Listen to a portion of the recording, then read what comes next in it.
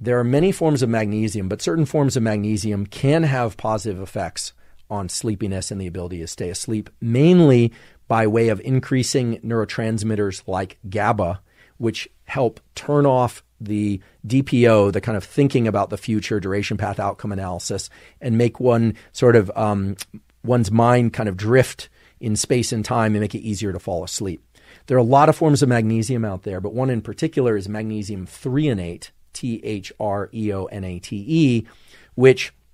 you have to check to see if this right is right for you, check with your doctor. But magnesium threonate is associated with transporters in the body that bring more of it into cells that allow people to feel this kind of drowsiness and help them fall asleep. I personally take